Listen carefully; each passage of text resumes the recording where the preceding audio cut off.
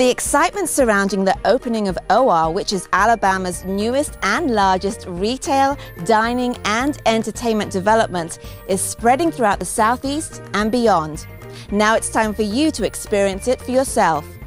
The highly anticipated amusement park has 21 dazzling rides, with popular kiddie rides including Leapfrog, where riders leap around on their multicolored frogs, to thrill rides that will make you scream for more, including OWA's largest and most thrilling coaster, Rollin' Thunder. OWA is truly a reinvented destination. Eat, drink, and shop everything you could ever want in one amazing place. For more information, visit their website at visitowa.com.